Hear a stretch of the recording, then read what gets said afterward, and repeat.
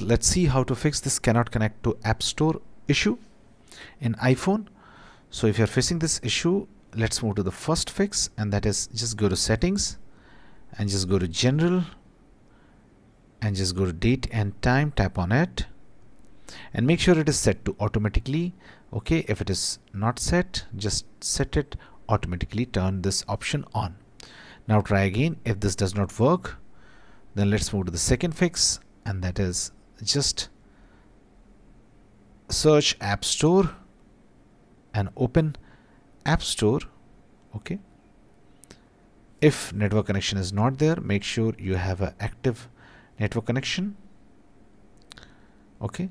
Now once you're in the app store what you have to do you have to tap on your ID located at the top right and scroll down and tap on sign out and tap on done. Okay? Now once you have signed out again tap on this and enter your Apple ID and just sign back in. So basically you are just logging out of your app store and then logging back again. Okay? I'm just entering my Apple the password. So I'm hiding it. And tap on done. And now try again. And your problem will be fixed.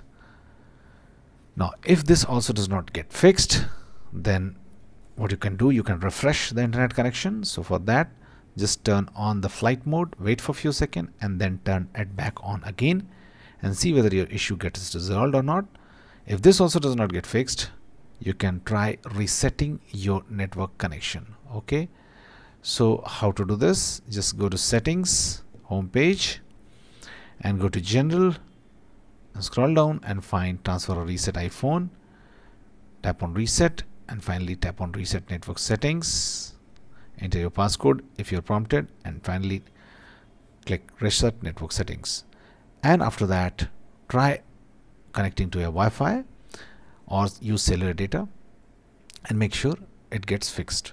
Now if this also does not get fixed then let's move to the last fix. Just go to settings. Okay home page.